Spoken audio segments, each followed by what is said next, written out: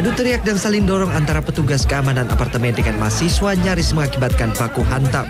Aksi sejumlah mahasiswa Universitas Empu Tantular ini memprotes dugaan adanya praktek prostitusi di lingkungan apartemen Basura City, Cipinang, Jakarta Timur.